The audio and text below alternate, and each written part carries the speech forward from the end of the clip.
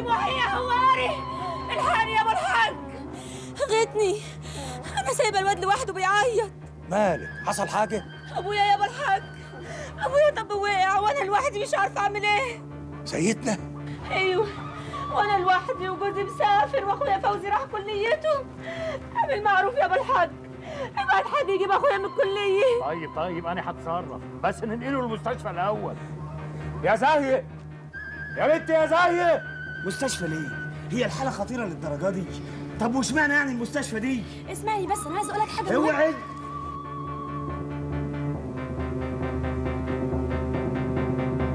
أصفية. أبويا فين يا أصفية؟ أبويا فين؟ مين اللي دخله المستشفى؟ الحاج محي الهواري هو اللي جابه هنا. ما لقالوش سرير في المجاني. دي مستشفى خصوصي يا فوزي. ما تخافش يا فوزي يا ابني. أبوك خيره على الناس كلها. وأني سداد من جنيه لألف وأبويا فين؟ هناك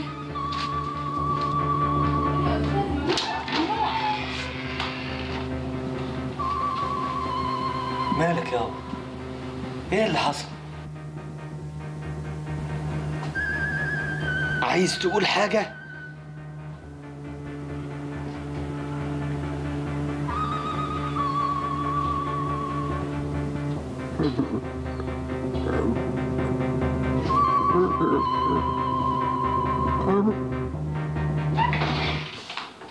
انت مين سمح لك تدخل هنا؟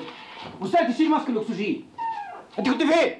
حاولت امنعه يا دكتور مرضيش ده ما بيتكلمش ده ما ردش عليا عارف عارف عارف إيه؟ عارف إنه ما بيتكلمش وما عادش هيرد عليا؟ سيدنا مش والدك لوحدك ده مربي البلد كلها وأنا أول واحد فيهم ممكن تسيبنا نشوف شغلنا بقى؟ يعني إيه؟ يعني خلاص. الراجل اللي بيقري طول الليل والنهار. الراجل اللي علم كل الناس إزاي يقروا ويكتبوا. يسكت. ينخرس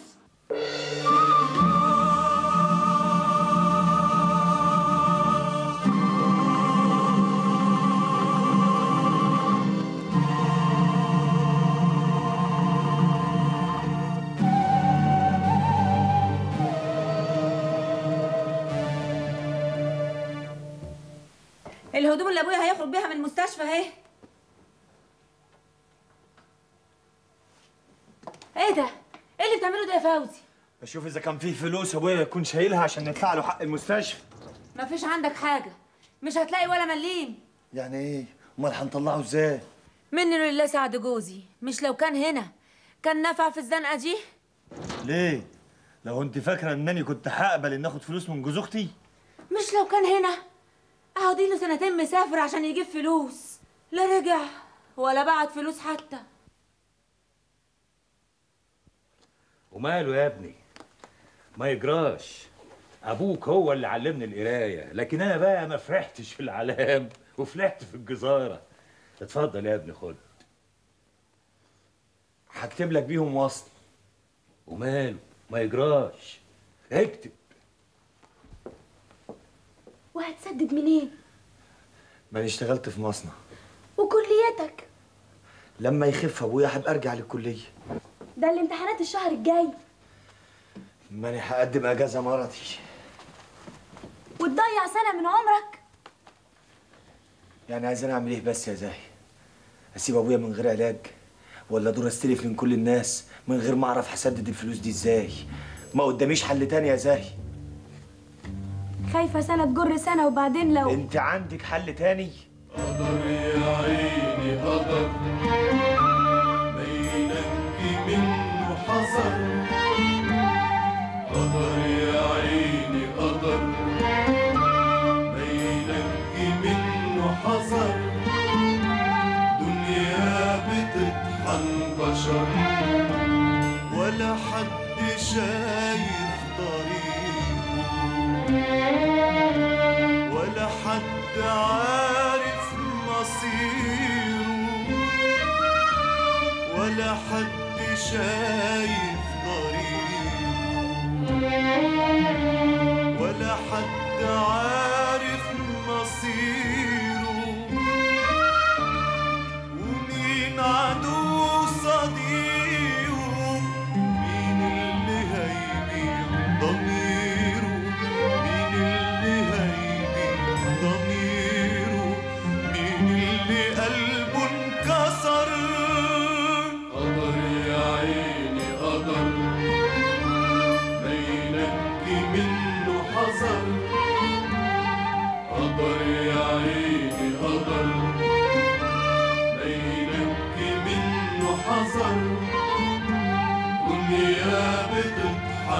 بتطحن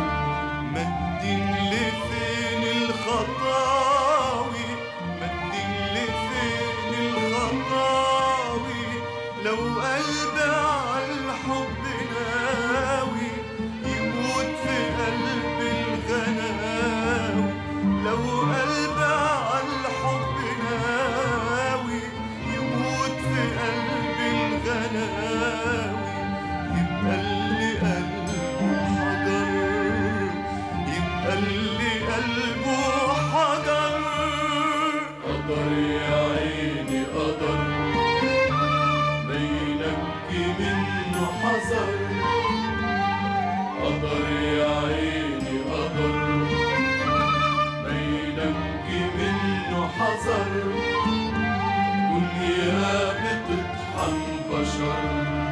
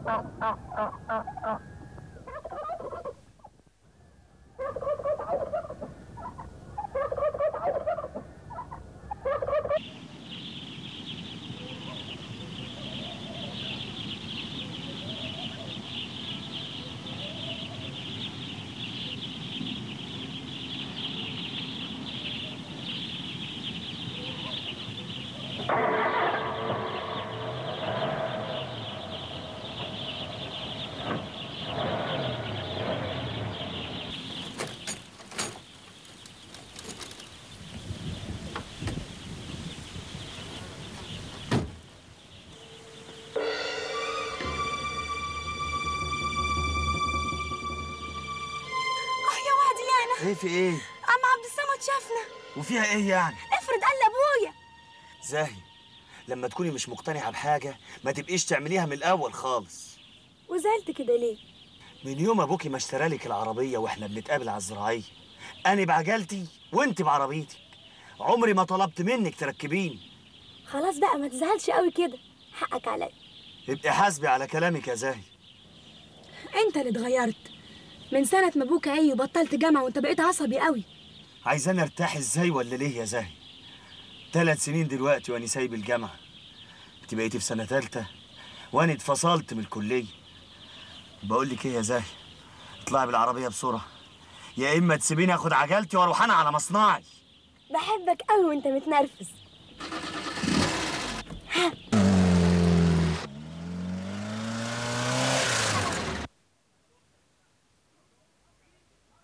شفتهم إمتى يا عبد الصمد؟ سيب الشطة دي وكلمني. شفتهم إمتى؟ لسه دلوقتي حالا. يعني مسافة السكة الزراعية لهنا. انت متأكد ان اللي كان راكب جنبها هو الواد فوزي ابن عبد الغني؟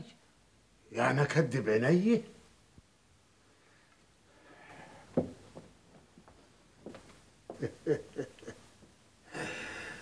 تستاهلوا يا بتوع زمن الترمس. اني هويت تلالم تلالم. وانت رايح على فين يا ساعة؟ خارج ولا عندك مانع؟ من يوم ما رجعت من السفر وإحنا ما بنلحقش نقعد معاك. الحال بقى غير الحال يا بنت سيدنا. بابا أنا عايزه اخرج معاك زي بقية اصحابي طيب حاضر. هتخرج وهتتبسط.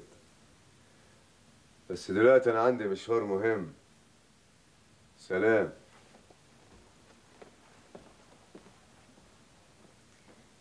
آه لو أفهم إيه اللي في دماغك يا ابني قرقر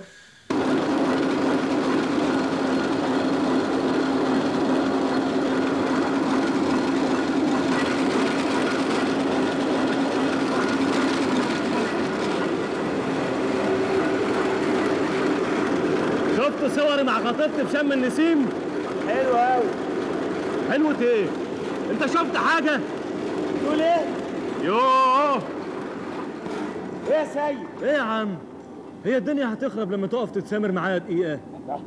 أنا عمري بطلت المكنة بتاعتك. مش من حقك إنك تبطل المكنة اللي بشتغل عليها. يا سلام. سايب المكنة واقف ترجع مع فوزي ليه يا سيد؟ أصل المكنة عطارة يا باشمهندس. عايز حد من الصيانة. على طول أهو. لا يا باشمهندس. لا مؤاخذة المكنة سليمة ما فيهاش حاجة. يا فوزي.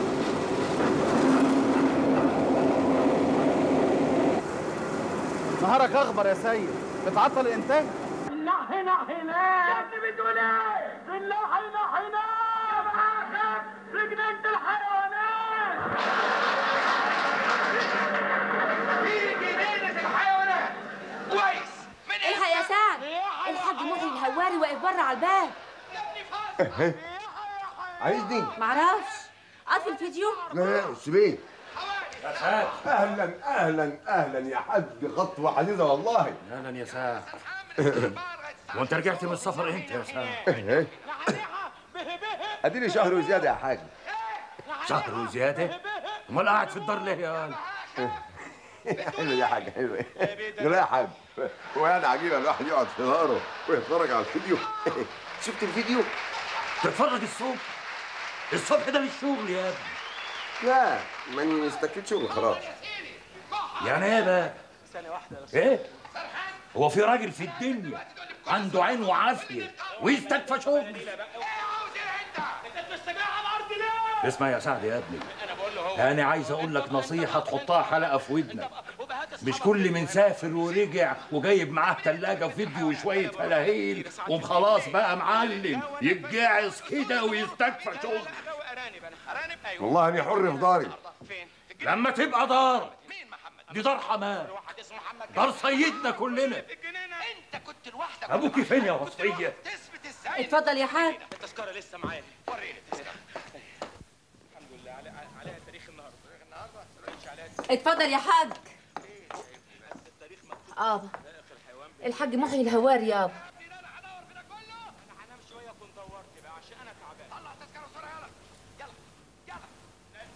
سلامتك يا حاج. ألف سلامة.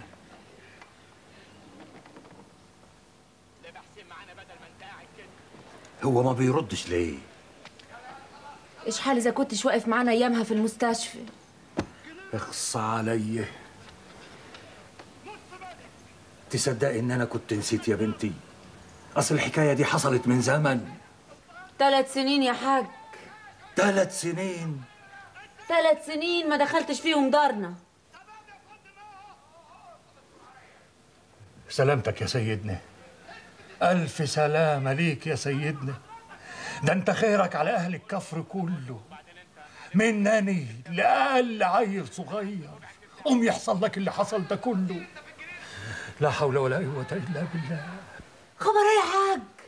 أبويا راجل مؤمن بالله وراضي بامره لا وكمان ربنا يرزقه بجوز بنت نطع يسيب مراته أربع سنين لوحدها ولما يرجع يلبت في الدار لا شغلة ولا مشغلة. نصيب بقى. هنعمل إيه؟ ولا بسلامة أخوكي. فوزي؟ ماله؟ يرضيك يا سيدنا. يرضيك يا سيدنا يا اللي علمتنا الأخلاق والدين.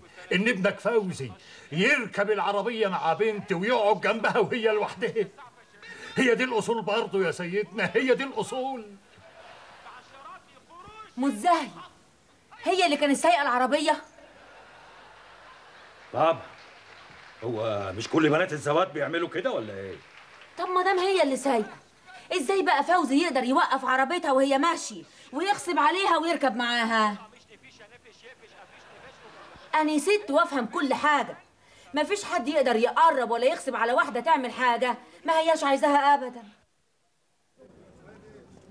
سلام يا جماعة. أنا اسمع إن أهل الريف كرم. يجرى حاجة لو تعملي دق جدعانه وتوصلينا بعربيتك ما بركبش شبان في عربيتي يا عنوس. يبقى بتركبي مواشي بقى. اخرس يا قليل الذوق. ليه كده؟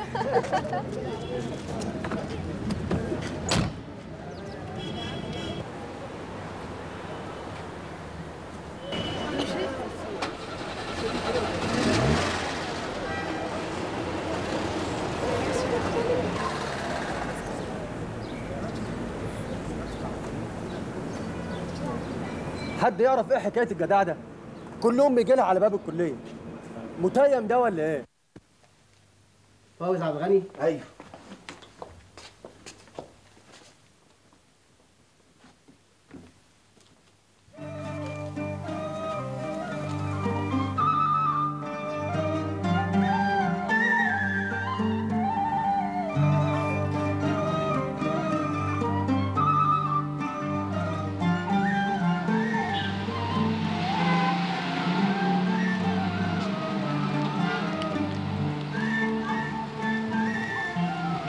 متشكرين يا حاج. أيوه خدمه مع السلامة يا أستاذ. بقى بتخبص عليا عند الباشمهندس يا فوزي. لا أنا قلت الحقيقة يا سيد. أنت اللي وقفت المكنة يا سيد وده غلط لأن من اخد أجرته بيحاسب ربنا على شغله. وأنت مالك أنت ومال الأجرة والحساب؟ هو كان مصنع أبوك. ما هو أنت لو بتقرأ وبتفهم هتعرف إن المصنع ده ملكك. لا لا لا أنت فاكر إنك أنت بتفهم أحسن مني؟ ده أنا أفهم عن مليون واحد زيك. خد! أنت بتضرب! كده يا جماعة وحدوا الله امال أوعى إيدك امال اوعى. أوعى امسك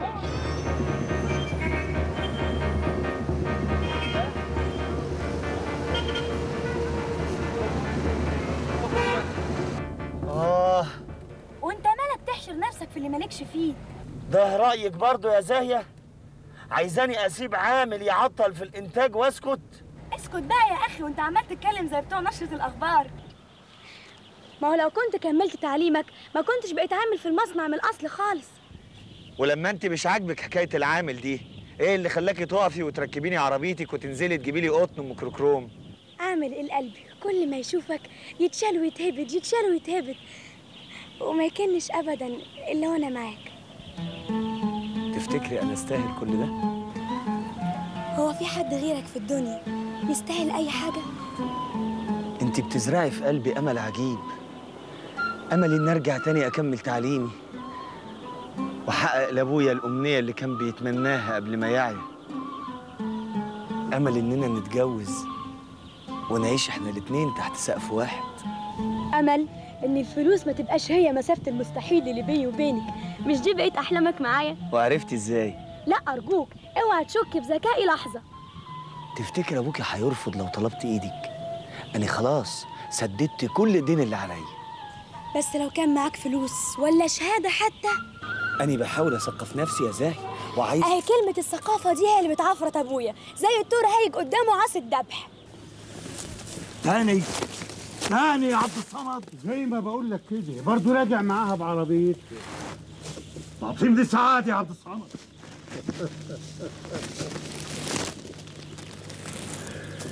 أنتوا لسه شفتوا حاجة يا بتوع زمان التربس كان بينضرب يا حاج؟ أشوف واحد من أهل الكفر بينضرب واسيبه وأجري؟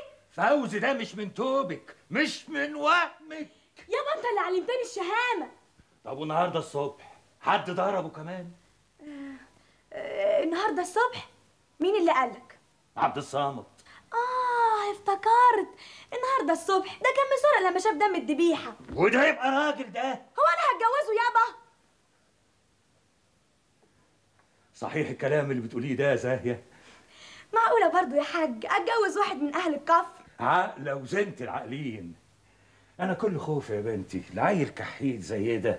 يملى دماغك تقومي قصدي يعني تميلي ناحيته زي ما حصل مع الجدع المتجوز ده اللي اسمه محمود. لكن أنا برضو اللي قدرت انسهولك أنا عايزك تبص لفوق لفوق قوي زي أنا كده. يابا أنا خدته في عربيتي علشانك. عشان أنا؟ أيوه علشانك. ما هو لما أهل الكفر يشوفوا فوزي ابن سيدنا مسورق وأنا باخده في عربيتي ولا مضروب وأنا بنقذه هيقولوا يا سلام. شوفوا اهدي فعلا بنت الحاج محيي الهواري. شوفوا الشهامة عندها زي أبوها إزاي. والانتخابات قربت وكم حركة من دول أحسن من مليون دعاية. مش كده ولا إيه يا حاج؟ يا سلام. آدي قيمة العلام بصحيح. ده أنت تاريكي مخ زي أبوكي بالظبط. خدي خدي دول. أنت تستاهلي مية فوقيهم كمان. لا بيد أنا بكح.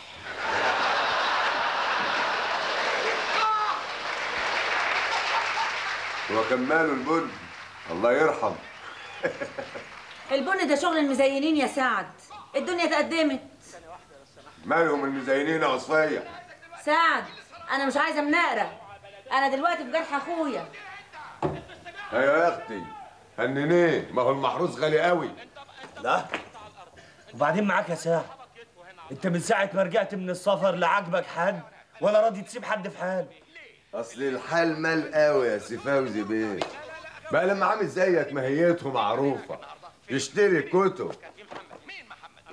بأربعة جنيه وربع. تلاتة جنيه ونص. وأربعة إلا ربع. أحسبهم لك يبقوا بكام؟ حرام عليك لما تشتري وتدفع الفلوس دي كلها في كتب لصلاح جاهين والشعر العمودي. وأبوك محتاج لأدوية. يعني مش مقصر مع أبويا في حاجة يا ساعة ما انت طلعت لي في بند جديد يا اخويا قال إيه؟ عايز تذاكر الجامعة تاني. طب هتجيب المصاريف دي كلها منين وأبوك متلاقى ساعة لا. أنا ما اسمحلكش تتكلم كلمة واحدة عن ابويا بس نازل إيدك يا اخويا نازل إيدك ريح نفسك لا يطق لك عرق اللي يشوف كده يقول إنك متكفل بأبوك مية المية. خبر إيه خبر إيه يا غالي. والله ما أنا عارف هتعملوا إيه بعد ما اسيبكم وأسافر. انت قصدك إيه بالظبط يا ساعة؟ لا قصدي يا اخويا ولا ما قصديش أنا داخل اغير وخارج ها؟ والسلام ختام. إيه الكلام اللي بيقوله سعد ده عن مصاريف ابويا آه، آه، أيوه يا ابويا أنا جاية حالا.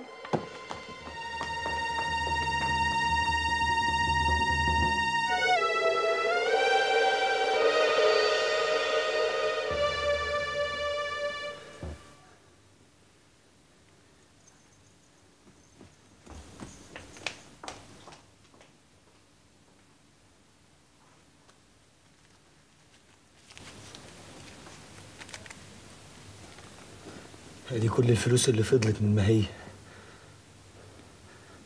أنا مانيش عايز لنفسي ولا مليم وبعدين الكتب أنا هبيعها جوز أختي بيعايرني بيها. أعمل إيه يابا؟ هو أنت اللي زرعت في قلبي حب القراية والكتب؟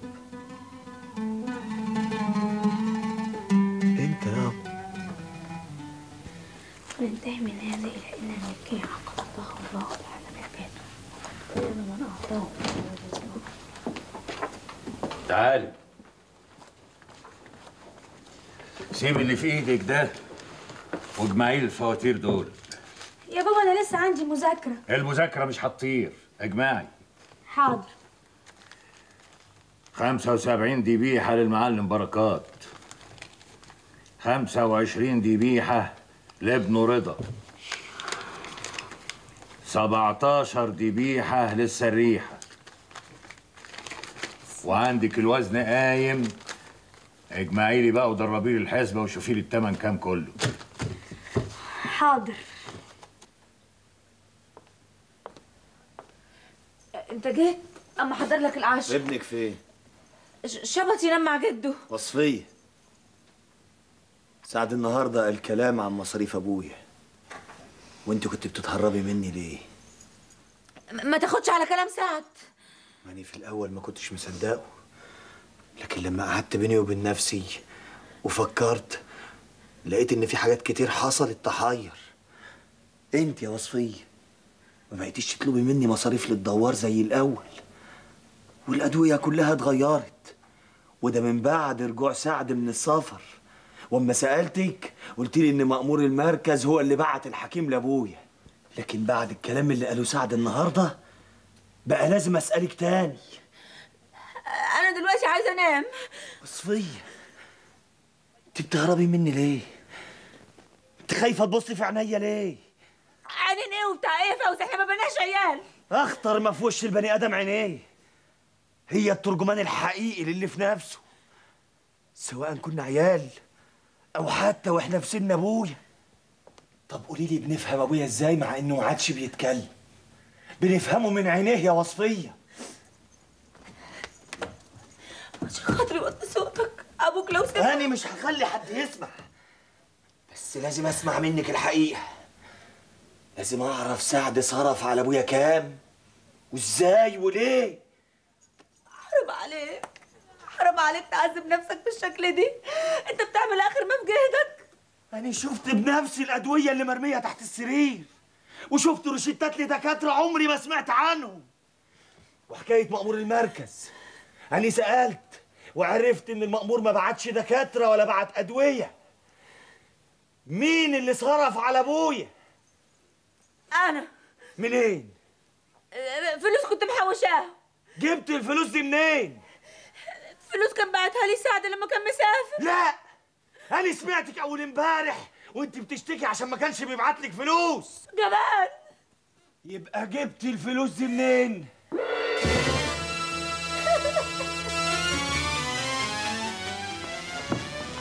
جبت الفلوس دي منين؟ من من سعد. كنت فاكراه راجل شهم جوزني وفضل جنبي لغاية ما اطمن إن أنا حامل وبعدين سافر. لسنة سنة واحدة. وأرجع لك محوش لك فلوس دكان. وأبني لك دار ملك. بس اوعي اوعي ترجعي لشغلك ابدا. قبل ما أرد عليه سافر. السنة بقت خمسة. أنت الشاهد الأمين على عذابي وصبري فيهم. ما هو رجع يا وصفيه ده رجع ومعاه عربية محملة بتلاجة وتلفزيون وفيديو وهدوم وفلوس ميات ميات. فرحت. افتكرت إنه أنا الأوان. لأجل ما أخد منه حقي. حق ناري وعذابي وسهري طول سنين سفره حق عذابك؟ حقي. حق إنه يعوضني. على الأقل يديني فلوس قد اللي كنت هشتغل بيهم. وخدت منه الفلوس.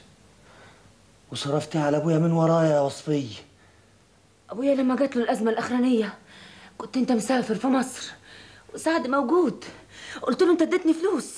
خلاص تبقى بتاعتي. وجبت الدكتور والأدوية. لأجل ما أجرحش إحساسك خبيت الروشتات والأدوية تحت السرير. فيها إيه يعني؟ لما الراجل ينسف مراته وسط أهلها وناسها. وتذليني أني؟ ما عشت ولا كنت. لو كنت سببت في كده امال اللي عملتيه ده ليه؟ سيبني يا فوزي. سيبني عاوز انام لا لازم افهم عملت كده ليه. خلاص حق. غل في قلبي ناحيته. مش عاوزني اطفي نار غلي حتى بالفلوس. وليه يبقى غل؟ جبان. جبان اتجوز عليا وهو مسافر. ومعرفتش إلا لما رجع. وساكتة. لازم أخلص بحقي منه الأول. وكرامتك. جيب فلوس وتعوضها إن شاء الله عنها معوضتها المهم اخد من سعد حاجة. بدل اللي دفعته. أنا أكتر واحدة ضحت في الكفر ده كله. يبقى لازم اخد حقي. لازم يفهم إن أنا مش هبلة ولا عبيطة. لازم يعرف إن أنا أذكى بنات الكفر ده كله. لا أنت أكتر واحدة ضحت في الكفر ولا أنت أذكاهم ولا أنا عايزك من أصله طلعني هيحصل. بس لازم تعرفي الأول ان أنا اللي أذكى منك وأذكى من الكفر أذكى من المحافظة كلها. أنت عارفة كل يوم من يوم ما رجعت كنت بخرج بروح فين؟ لمراتي الجديدة. عرفت بقى إني أنا اللي أذكى من الكل ومش كده وبس. العربية اللي واقفة قدام الباب بره مكتوبة باسمها والرخصه اهي طلعني. ابريني من المؤخر والصداق. بس ابني أنا اللي اخده. الله. استنوا بس. اشربيه مراتي الجديدة حامل. طلعني.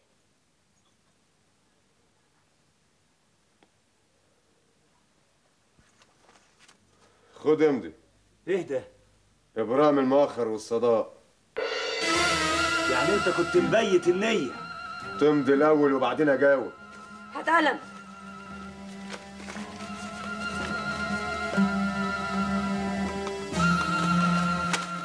عرفتوا بقى إن أنا اللي أذكى وأنبه من الكل؟ ابني وهاخده بالقانون لما يجي السن. يبقى ما خسرتش حاجة. أنت اللي خسرت كل حاجة. خسرت شبابك وجمالك وخدت اسم متطلقة لكن أنا خسرت إيه؟ شوية قرشينات لو جمعتهم مش هيكملوا 200 جنيه. يبقى أنا ما خسرتش حاجة. أنا كسبت. كسبت زوجة جديدة وابن. ويكون في علمك. كل حاجة جبتها من السفر هاخدها وبالقشاية عرفتوا بقى مين فينا الأذكى؟ انت طالق يا وصفية يا بنت سيدنا.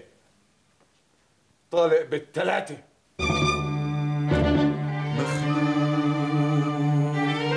في صدر الكلام يشك قلبي شك انطق وشق الزحام أبويا شوف ابنك غرقان في بحر الضرام مشتاق اوي لحضنك. غدر وشال الحطام وداس على حزنك. يا غدر حمل اوان يكفى اللي كان منك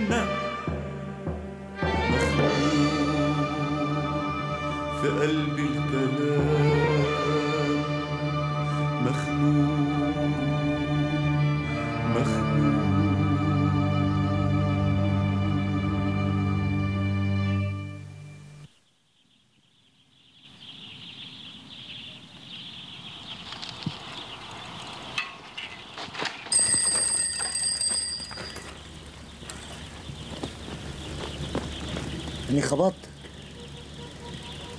اوعى تكون بتتقل ما تزعلش مني.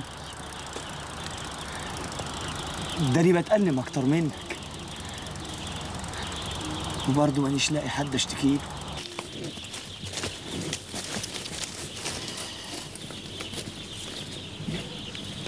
غريبة. إيه. الجدع ده واقف قدام الحمار كده ليه؟ يظهر بيلاغيه يا معلمي. بتقول فيه؟ إيه؟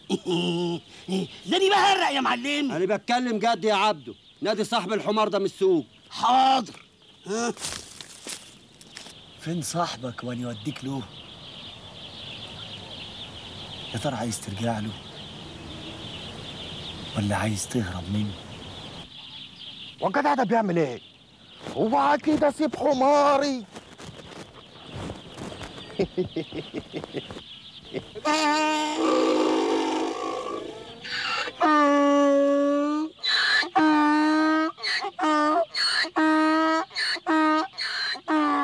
غريب.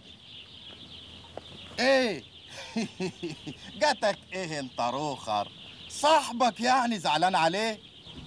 أنا كنت قاعد من أول الجدع ده ما جه. الغريبة إنه وقف وبص للحمار.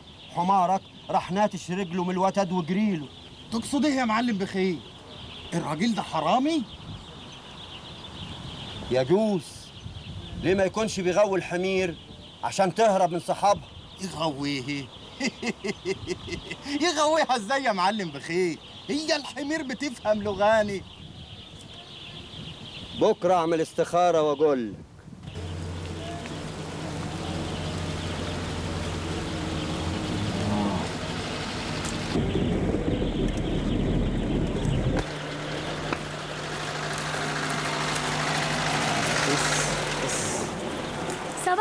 صباح النور. إزيك يا أستاذ زاهي ما شفتش فوزي عبد الغني؟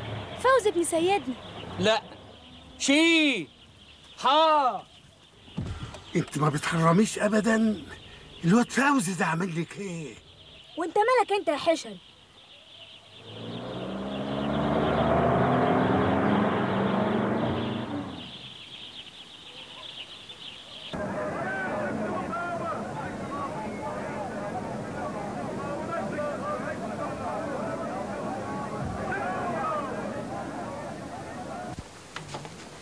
هي إيه الحكاية النهارده؟ خليه دول معاك وبدهم لي لما نخش جوه. ما تخافش محدش هياخد باله. أيوه مش هفهم بس دول إيه يا علام أنا مش كلمتك على الاختراع بتاعي اللي يوقف المكنة أوتوماتيكي لما فتله تقطع في النول. خلصته؟ هركبه النهارده على مكانتي. ودي حاجة تبقى في السر. ده الباش مهندس عبد المجيد لو عرف هيفرش لك الأرض رمل. اسكت ما تعليش صوتك. ده الباشمهندس لما قلت له على الاختراع بتاعي قال لي هرفدك لو لمحتك بتعمل حاجة في المكنة. الله. ليه؟ خايف لبوظها طب ما هو ممكن يدي لك مكنة من اللي في الورشة تجرب انت فيها. مرضيش. يا فوزي أنا صاحب عيال ولو اترفدت خلوص بس أنا كمان مش قادر اكتم فرحتي. ده أنا ما نمتش طول الليل. وأنا بحلم اني هركب الاختراع بتاعي النهارده. وان شاء الله هيدور قدام عيني. إن شاء الله. هات يا علام قبل الوردية ما تشتغل. يعني هتقف جنبي. مش هتخلي حد يشوفني؟ اتكل على الله يا علام. يعني إيه يابا؟ سعد ياخدني لحمة ويرميني عظمه وعايزني اسكت يعني صحيح. سعد أنبه مني؟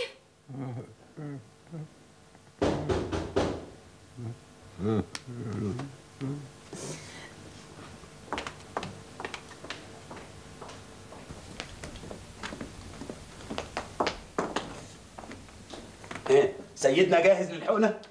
اتفضل دقيقة واحدة.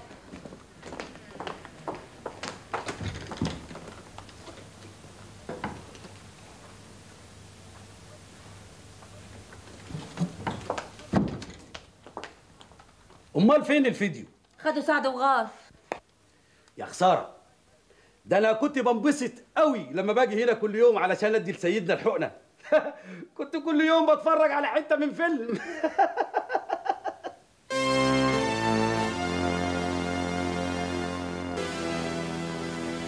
سي عثمان.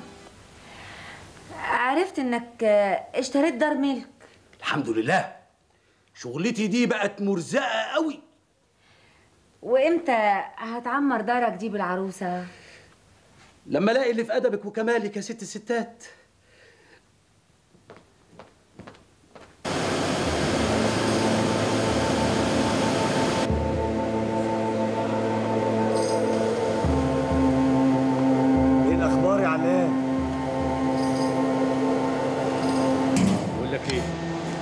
إيه على ما العمال تدخل الوردية.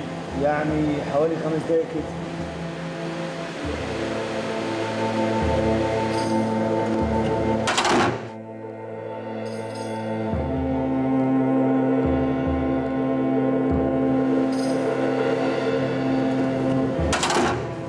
خلاص؟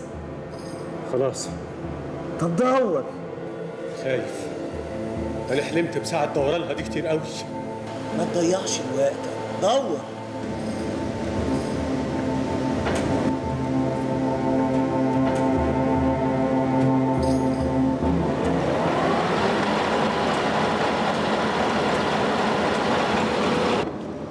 الفتلة قطعت.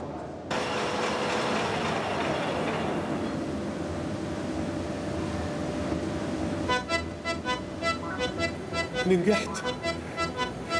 نجحت. يا الحقوني يا جدعان. الحقني يا باشمهندس عبد المجيد.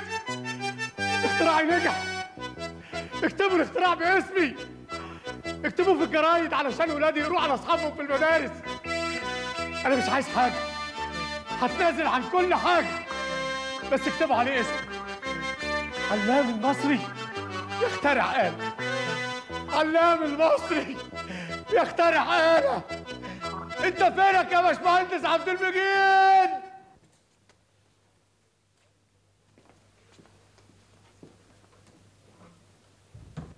ادي الخيط المقطوع اهو يا باشمهندس. عارف حضرتك نقدر نوفر كام بكرة خيط في اليوم بالاختراع بتاعي ده؟ وايه الاختراع في كده؟ كل المكن الجديد بيعمل العملية دي. آه بس شوف بقى المكنة تطلع بكام. لكن الاختراع بتاعي ده ما يساويش 10 جنيه. وبيركب على المكن القديم. شوف بقى يوفر قد إيه عملة صعبة تمن مكن جديد. آه. طب شيل البتاع ده من المكنه وطلعه لي المكتب. اسمع انت وهو في الراحة تنضفوا المصنع عشان سعادة زكي بيه بتاع الوزارة جاي بكرة. عايزكم تنضفوا الأرض وتخلوها زي الألماس. يلا كل واحد يروح على مكانته. بسرعة! الاختراع يا باشمهندس. قلت لك فك وهاتولي المكتب. لا مؤاخذه يعني ليه؟ عشان أدرسه. أنت عملت له رسومات؟ أيوه بس لا مؤاخذة كده حاجة على قد. بعد زيارة سعادة زكي بيه هبقى أدرس الموضوع. طب وزكي بيه ليه ما يشوفش بنفسه إن في عمال بتفكر وبتخترع؟ ده أنا اتعلمني شغل يا أخي أنت دايما كده مفلوت من لسانك. أنا عاوزه يدرسه على مهله عشان يقتنع بيه. ساعتها بقى هيعمل لي تمثال قدام المصنع. ده اختراع يابا اختراع. علام آه أيوه يا سعادة البيه تعالى معايا. حاضر.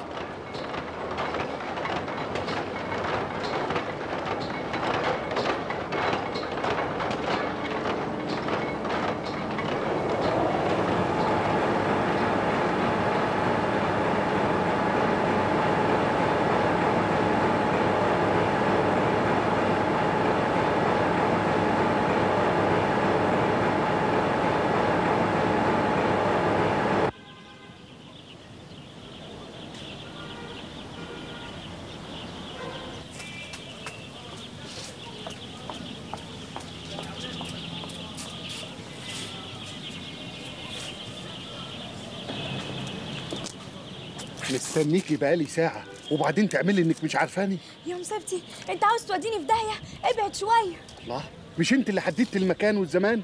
أنا غلطانة. خلاص بقى ممكن تسيبني في حالي؟ طيب آه، اسبقيني على العربية وأنا هحصلك زي كل مرة. عيب ده أنت متجوز. مش خايف لمراتك بنت وكيل الوزارة. تشوفك وأنت بتكلمني؟ نفسي أفهمك.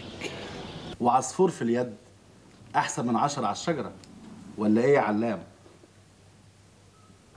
بس أهم حاجة واللي هتخليني راضي عنك بصحيح إنك ما تفتحش بقك. وبالذات بكرة أثناء زيارة سعادة زكي بيه. ولا أقول لك أنت النهارده وبكرة اجازه على حسابي. روح اقعد مع عيالك. وهات لهم كل اللي هم عايزينه. هات لهم لحمة لحمة كتير. غذيهم. يلا مع السلامة يا علام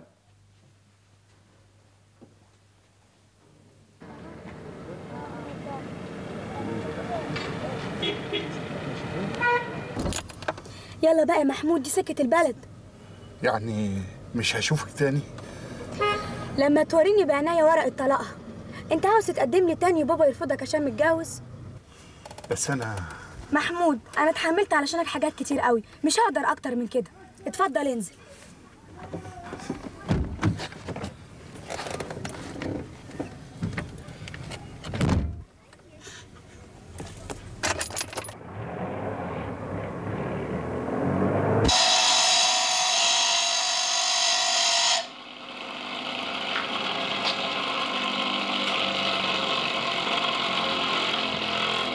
تمام كده يا اسطى شوف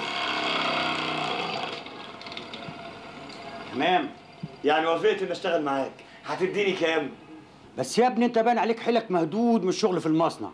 هتقدر تطبق هنا على طول وكل يوم. بعون الله هقدر بس هتديني كام؟ خمسة. ماشي؟ ماشي يا اسطى. بس عايزك تديني أي مبلغ دلوقتي. ما انت عارف يا ابني إن القبض في الورش كل أسبوع. أيوه أنا عارف بس أنا أصلي معذور اليومين دول. وبعدين خد خلي البطاقة معايا. وهتمشي من غير بطاقة. ما هو ما دام انت وافقت يبقى هشتغل من دلوقتي. ليه يابا ليه يابا كده ليه؟ عشان تحرمي تقابلي اللي اسمه فوز ده تاني. والله ما شفت النهارده خالص. لا اوعي تكوني فاكرة انك تقدري تضحكي عليا. لا فوق لنفسك بقى. ما هو أنا لا اهبل ولا بريالة. آه أنا افهمها وهي طايرة. واعمل حسابي أجدع من أي واحد في الكف كله. قولي كنت مع فوزي فين؟ ما شفتوش. اوعي تكتبي عليا وانت لما اتاخرت أنا رحت دار فوزي وسألت عليه أخته قالت لي إنه لسه ما رجعش. يبقى كنت مع فوزي.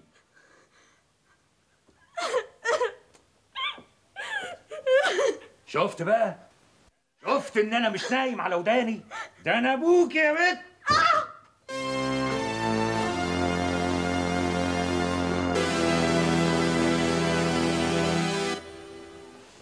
عبد الصمد كان هنا وهو اللي قالك إن أنا كنت معاه فوزي عشان تعرفي إن أنا بأي طريقة هعرف كل حاجة بتعمليها. الواد فوزي الصنايع ده ما تقابلهوش تاني ابدا ابدا. ومش عايزك يا ست تعملي لي دعاية للانتخابات. ارتحتي. يابا أنت ليه بتكره فوزي أنا أجوزك بمزاجي أنا. أنت لسه ما تفهميش حاجة عن الدنيا. أنا بس اللي أعرف مصلحتك فين وأعملها. يعني أنا ماليش رأي. يابا مره واحدة بس تفاهم معايا بالعقل اللي خلقه لنا ربنا أنا مش ناجه في زريبتك يابا الزريبه اللي مش عاجباكي دي أنا اللي عاملها بعقلي أنا مش بعقلك انت أنا اللي عملت نفسي من جزار صغير لحد ما بقيت اكبر تاجر في المحافظه كلها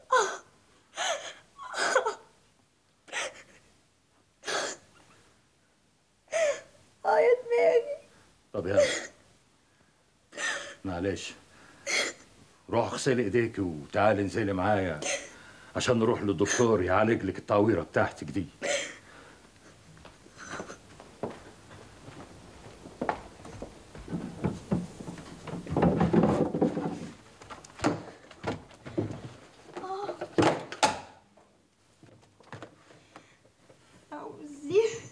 شغالي يا زاهية حاضر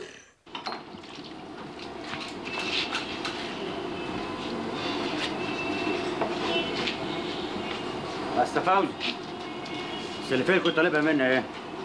بس بقول لك إيه اوعى تلعب بيا وما تجيش بكرة. يا اسطى يا اسطى ده انت معاك البطاقة. تصبح على خير. مع السلامة يا أستاذ فوزي سلامة.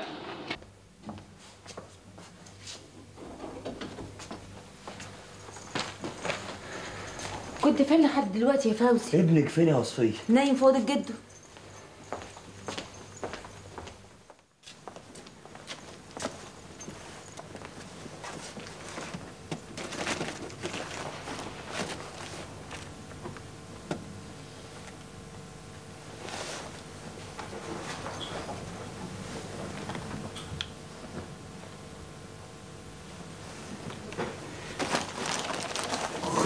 خد ال- الحقنه اهي يا وصفيه و- وخدي دول كمان. ليه ده كله بس؟ ودول آه، بقية الفلوس خليهم معاكي برضه. بتعمل في نفسك كده ليه؟ ما تخافيش يا وصفيه كل الأمور هتبقى على العال بإذن الله. بالحق. واحد من رجالة الحاج محيي جاب لك الجواب ده. وقبلها الحاج محيي سأل عليك واتعفرت لما ملقاكش هو أنت مستلف منه فلوس؟ عموما أنا هريحك مني خالص وقريب.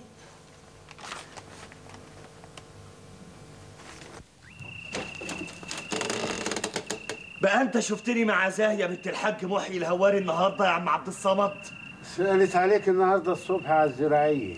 لكن ما شفتهاش. والله العظيم ثلاثة ما شفتها. الله أنت بتلعب اللعبة دي معايا ليه يا عم عبد الصامد ليه؟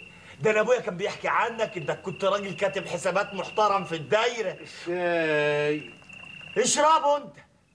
أنا مش فاهم أنت شاغل نفسك بالحكاية دي ليه؟ ده أنا بحبك يا عم عبد الصامد بحبك وعمري ما أذيتك ولا زاهية كمان. بالك إيه اللي حصل لما حكيت لأبوها؟ تنه يضرب فيها لما عورها. وعرفت منين؟ بعتت لي جواب مع الغفير بتاع الفيلم أهو. خد اقراه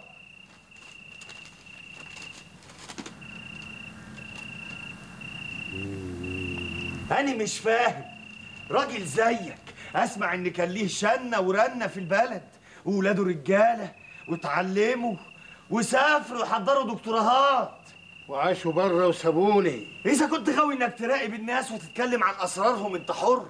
لكن تكذب. تكذب يا عم عبد الصمد. الزمن الكذاب ده يبقى كذب مش عيبه أيوه. زمانكو زمن الكذب زمن الترمس رخيص. عمرك شفت حد يشبع من ترمسايه يشبع من تفاحة؟ معلش. وده الفرق بين زمانكو النهارده وزمنانه زمن التفاح زمن البرنسات ولاد الزوات ولاد الأصول بحق وحقيقي. محيي الهواري النهارده هو برنس ايامكم وبنته هي البرنسيسة حد يصدق الكلام ده يا ناس؟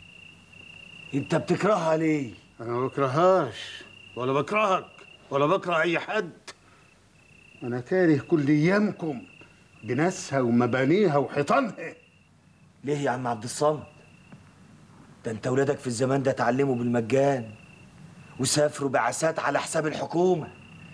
وبعد كده حصل إيه؟ هاجروا وسابوني. السبب إيه؟ مجانية التعليم. ما خربش الدار دي. إلا مجانية التعليم اللي أنتوا فرحانين بيه. يعني مجانية التعليم.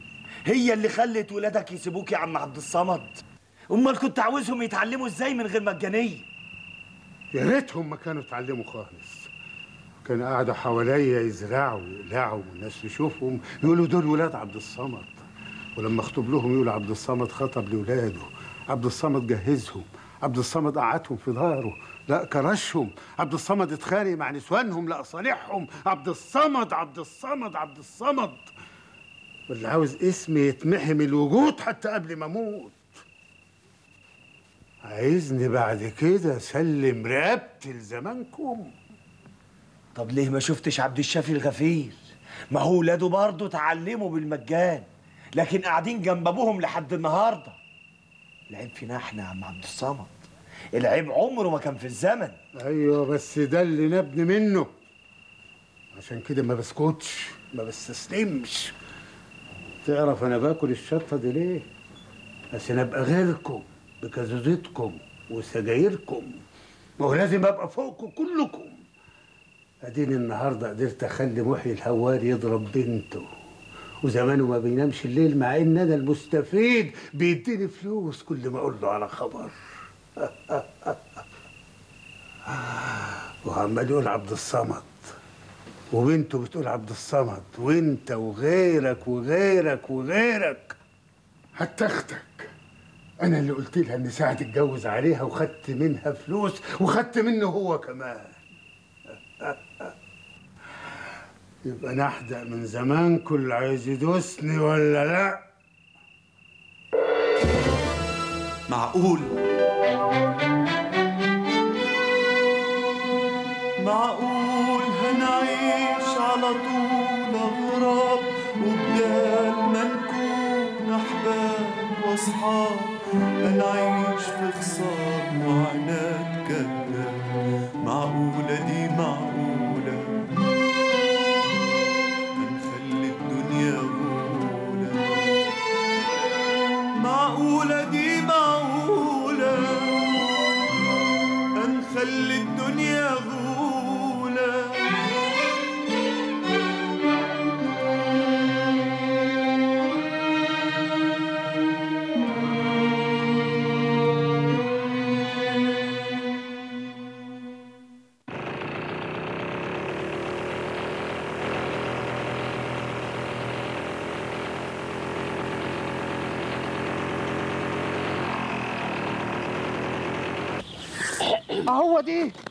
اهو دي ابو عجلي اللي بصاحب الحمار.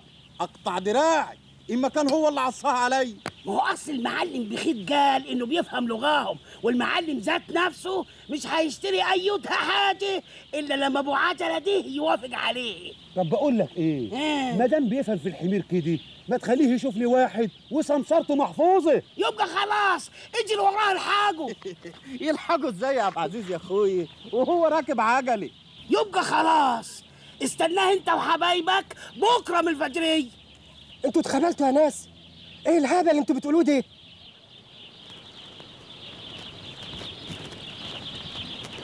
صباح الخير يا فندي. صباح النور. إيه رأيك في حكاية كده؟ تكسب من وراها الشيء الفلاني من غير ما تعمل أيها حاجة. يعني إيه هكسب من غير ما اعمل حاجة؟ مش فاهم. أنا قلت إنك بتفهم في لغو الحمير. الناس كلها صدقتني عشان أنا أكبر تاجر في الناحية. الناس هتسألك اخد أنهي حمار؟ هتعمل الحبة بتوعك اللي أنت عملتهم امبارح وتشاور على أي حمار وتقول هو ده. هتاخد عمولتك تنصصها معايا. قلت إيه؟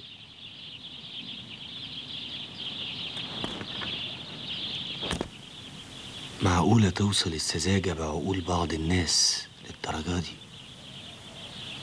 لو كان الجهل رجلا لقتلته. النهارده اللي ما عندوش جزمة كاوتش يروح المخزن يستلم واحدة على مقاسه ويرجعها تاني بعد الزيارة. مفهوم؟ حتاتة روح اغسل وشك. اتفضلوا على شغلكم.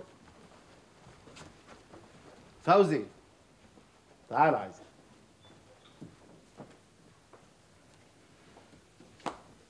أنا عارف إن أنت غاوي شعر وده اللي خلاني أختارك مخصوص من دون العمال كلها علشان تقول قصيدة ترحيب بسعادة زكي بيه. اقعد في الأوضة اللي جنبي في التكييف واشرب قهوة ومخمخ لي قصيدة عجب عن النظام والرعاية ها؟ وحراعيك في الحوافز. يلا يا فوزي ما عادش وقت. أنا هرتجل قصيدة يا عبد المجيد بيه.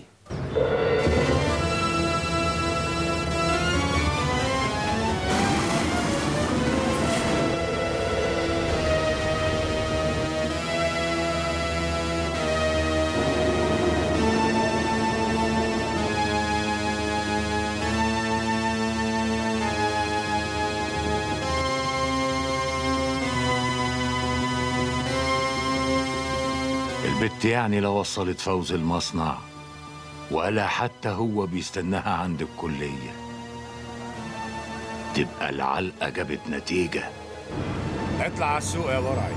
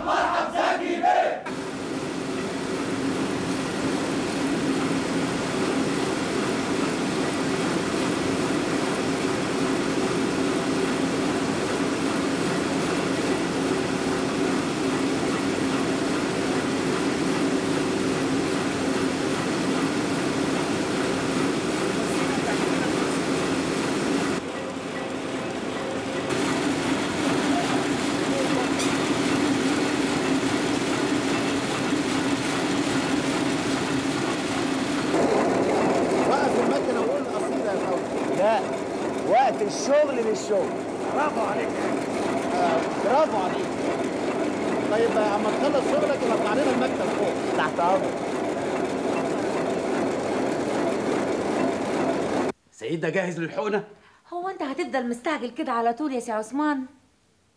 يعني أقعد أشرب الشاي الأول؟ غالي والطلب رخيص.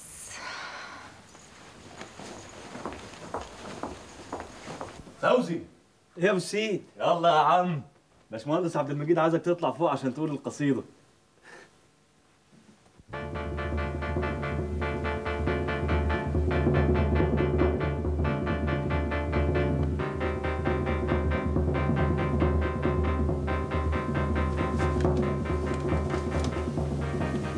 تخش ده المهندس عبد المجيد بيه هو اللي عايزك. برافو. برافو يا أستاذ عبد المجيد. أنا هشكل لجنة فنية لدراسة الجدوى الاقتصادية لاختراعك ده. ده هيوفر علينا استيراد الماكينات من الخارج. العفو يا فندم ده أقل واجب أقدر أقدمه. آه، فوزي تعالى بعد إذن سعادتك آه، أحب أقدم لسعادتك أحد مواهب المصنع فوزي عبد الغني. من أسبوع يا فندم وهو بيلح عليا يقول قصيدة قدام سعادتك يا ريت ما تكونش طويلة علشان وقت العمل. قول يا فوزي بس بسرعة. أبدأ كلامي بسلام ويا تلتمية ألف مرحب بضيفنا الهمام و... أستاذ عبد المجيد أنت ليه ما بتقولش العمال مصنعك على أفكارك؟ المفروض إنه يقول قصيده تشيد بفكرتك. أنت ما تعرفش إن الباشمهندس اخترع جهاز يوقف النول لما الخيط ينقطع؟ جهاز ما كلفش أكتر من 10 جنيه. يا فندم سعادتك بتديني ثقة في نفسي أكتر من اللازم المفروض إن الناس كلها تعرف يا أستاذ عبد المجيد. يا ناس! يا هو! هو إيه أصل الحكاية؟ المدير! ولا الغفير؟ مين اللي أولى بالرعاية؟ عامل يقدم اختراع آخر حلاوة. ياخدوا المدير وبيه يطير ويعلى اسمه في العلالي. واللي يعمل كل حاجة يتوه يضيع ولا مجيب. يا سعادة البيه يا رسمي. هو إيه اصل الحكاية؟ هي أصيلة ولا بنات؟ علام المصري. هو اللي عمل الاختراع. علام المصري زميلي. كذاب! هو يا فندم علام المصري بيعرف يقرأ ويكتب علشان يعمل رسم هندسي فخم ومتقن زي ده؟ يا سعادة البيه يا رسمي. هو إيه اصل الحكاية؟ كذاب! والله العظيم كذاب يا سعادة زكي بيه يحال الموضوع للتحقيق. شايف يا حبيبي عمك عثمان جاب لك إيه؟ مش عايز. ليه بقى يا حبيبي؟ هو أنا مش هبقى عمك؟ قول لي يا عمي. عجيب. إيه اللي بيحصل ده؟ خالد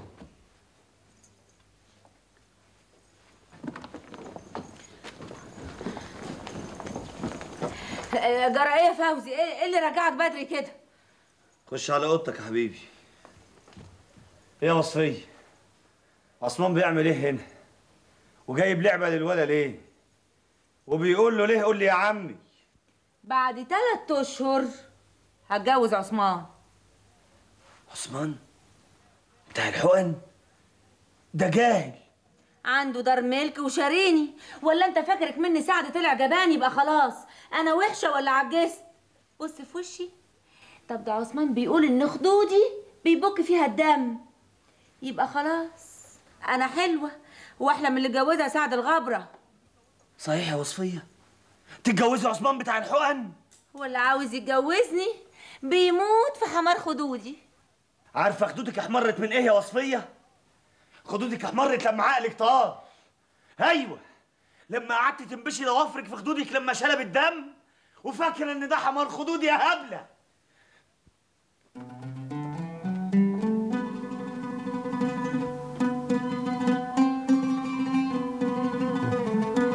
بتنتحر يابا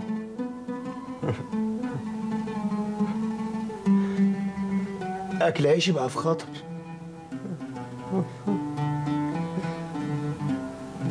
الجهل بيطلع لي لسان. يقول لي مكسبك عندي.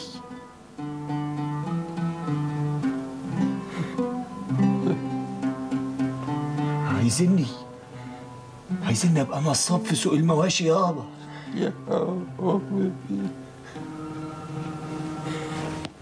يعني ما تعرفش. أكمل شغلي. حاضر. حاضر يابا حاضر. محتاج لك يا زاهي. محتاج لك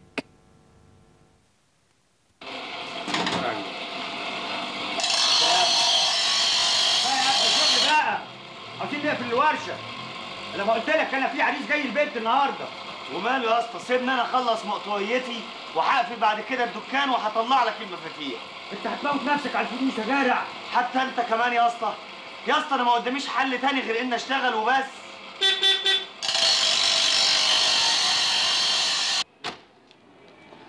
مساء الخير. أهلا أهلا. إزيك يا ست هاني فوزي موجود؟ آه يبقى فوزي عايز يستنى عشان مديكي ميعاد بقى. لا أنا اللي عاوزاه في حاجة ضروري عن إذنك. اتفضلي.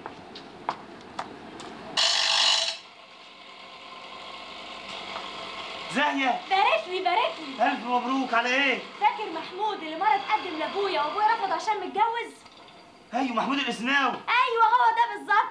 سنة وأنا مجنناه لحد ما خليته يطلقها. أنا مش عارفه بابا هيعمل إيه لما يعرف الخبر ده. تصدق ساعتها كان عمال يقول لي انت فاكرة نفسك مين؟ عشان الراجل يطلق مراته وعياله عشانك انت. يا بنتي ده أبوها وكيل وزارة. بتحبيه؟ بذمتك يا فوزي بامين الأذكى. أنا مش كده؟ فضلت طول المدة اللي فاتت دي مخليها فاكر إن بيني وبينك في حاجة لحد ما جه الوقت المناسب وفجرت القنبلة. يعني طول المدة دي أنت عاملاني كوبري؟ أه، مش بالظبط كده. أنت إنسان كويس قوي وأنا بستريح بدليل إن أنا ما لقيتش حد غيرك أتكلم معاه وأحكي له. بس يعني المشكلة إنك مش هتقدر تعيشني في مستواي وبعدين أنت ما كملتش تعليمك. وسبتني أحلم بيكي وانت لا. اوعى تفتكر إني ممكن أحب محمود. ده أكبر مني بعشرين سنة. وبعدين أنا رسمت عليه موضوع الحب ده علشان بس احقق اللي في دماغي. واثبت لأبويا إن أنا بشخصي أنا أهم مليون مرة من بنت وكيل الوزارة. معقول الوش البريء ده يخبي ده كله؟ هتزعلني منك ليه؟ الحق عليا إن أنا جيت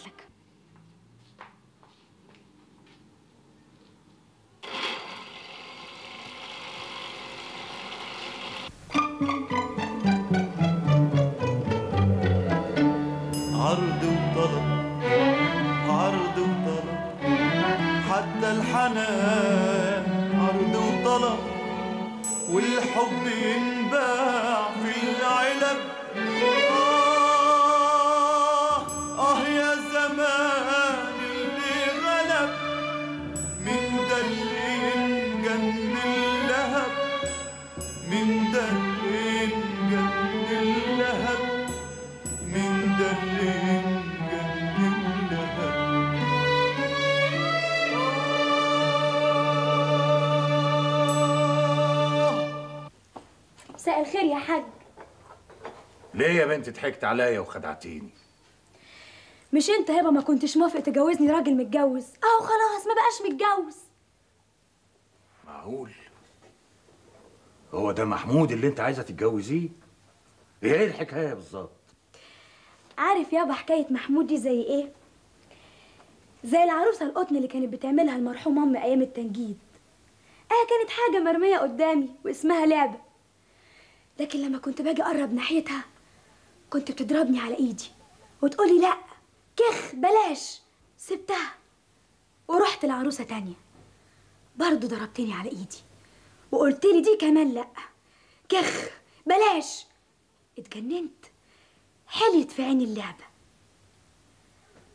حاولت أعمل أي طريقة علشان أخدها وفعلا سبت الكل واتسحبت لحد ما خطفتها. وساعتها اتصورت إن أنا خلاص حققت المستحيل.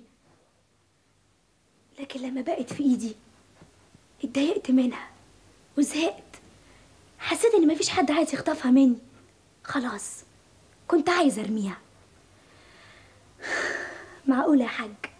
معقولة برضو أتجوز واحد قريب من سنك؟ غريبة. لا. والأغرب من كده إني بقيت بفهم أهو. ومش عايزة بقى أقول بقيت بفهم أحسن من مين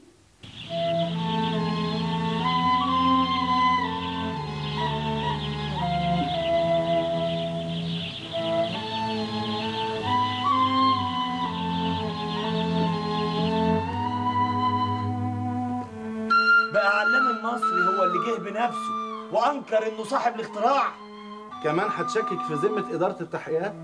تحب أخش جوه أقول للمحقق إنك بتشكك في ذمته؟ أنا ماليش دعوة بالمحقق أنا بتكلم على علام. علام يجي بنفسه هنا وينكر إنه صاحب الاختراع لما تحب تعك يا شاطر ابقى عك مع واحد قدك زي سيد ولا غيره. لكن أنا لا. أنا المهندس عبد المجيد متولي. أنا أقدر أشغل عشرين مصنع بصابع رجلي الشمال وأنا نايم في البيت متغطي ببطانية كروهات أنا بعون الله وأعوذ بالله من قولة أنا. أفهم بقد البلد دي كلها. ولما عاوز أخطي خطوة لازم تكون صح ومضمونة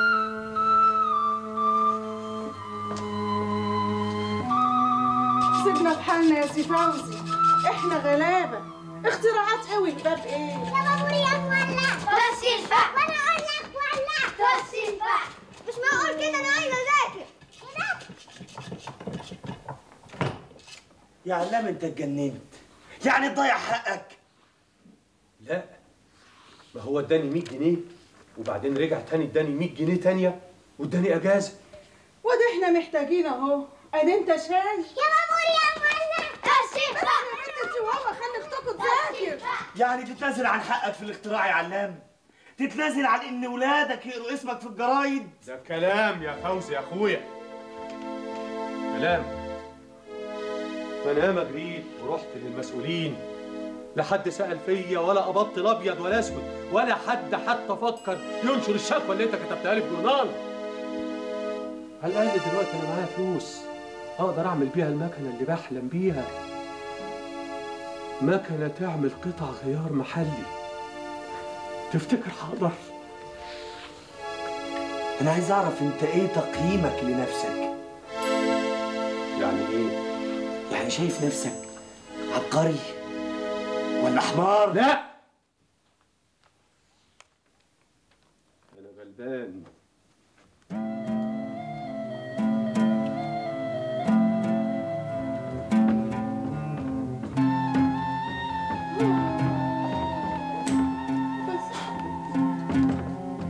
في الوقت اللي فيه كل الهايفين فاكرين نفسهم أحسن الكل أشوف بعيني وأسمع بودني الإنسان الحقيقي اللي بيقدم خير حقيقي وهو بينضغط عليه لحد ما في الآخر يفتكر إنه غلبان. إيه اللي بيحصل ده؟ عثمان اجري أوام طير على المصنع. قول لأخويا فوزي يجي بسرعة أبويا اشتد عليه العياوي. على طول أهو.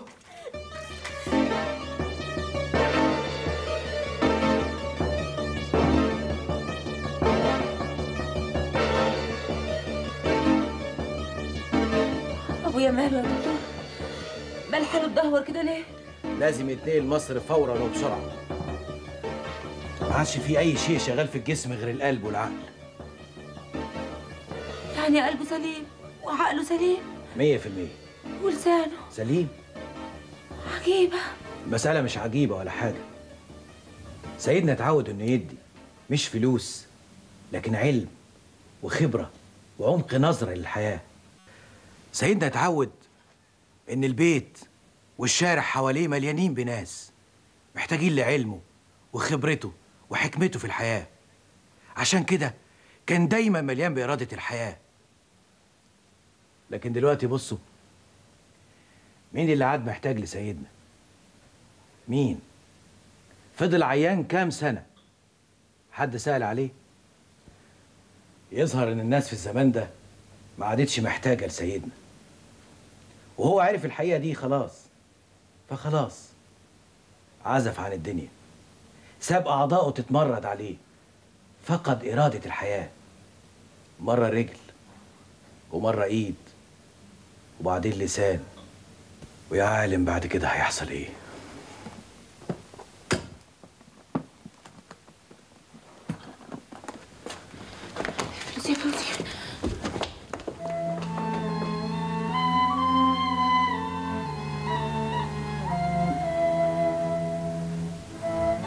لو الناس كلهم ما عادوش محتاجين لك. أنا وأختي أكتر الناس محتاجين. لك أنت اللي شجعتني على العلم والقراية. وأنت اللي دخلت أختي المدارس. كان حلمك إنني أبقى مختارة وإن أختي تبقى ناظرة مدرسة. مفيش حاجة من دي حصلت يابا كل ده ما يستفزكش. إنك تكسر القاعدة وتتكلم. إنك تفهمني أي حاجة.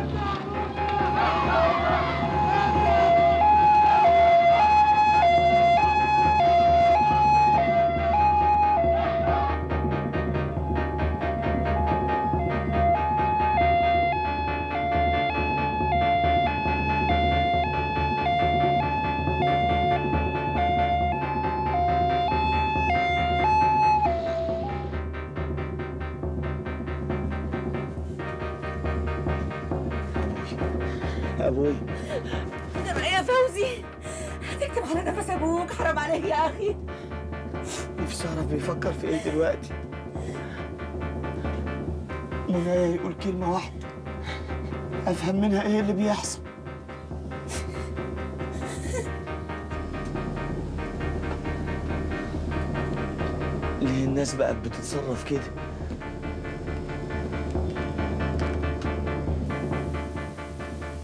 ليه كل واحد قفل على روحه باب جزيرة هي نفسه؟ ليه كل واحد بقى فاكر إنه أذكى الكل وأحسن من الكل؟ ليه كل واحد بقى بيتكلم بطريقة تخصه لوحده؟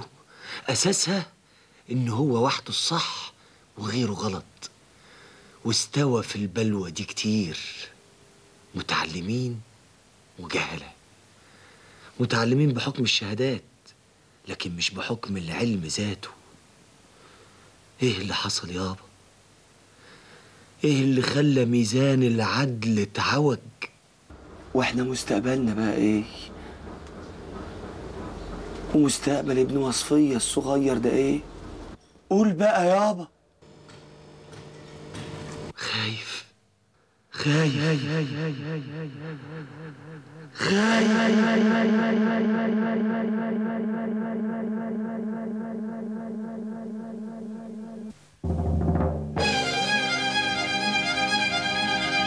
فين راح زمان الحب يا مساكين؟ تاهت قلوعنا والشطوط تايهين يا حب رايح الياسمين دبلان حنان الحب بين الناس. كتر الخداع مال القلوب وسواس. القلب غير الأمان والحب. انطق يا قلبي ولو فاضلك نبضة. قول الحقيقة وحط فوقها الإمضة انطق يا قلبي ولو فاضلك نبضة. قول الحقيقة وحط فوقها الإمضة عجبي على الإنسان ليه ضيع الإنسان. عجبي على الإنسان ضيع الإنسان عجبي على الإنسان. ليه ضيع الإنسان عجبي على الإنسان. ليه ضيع الإنسان عجبي على الإنسان. ليه ضيع الإنسان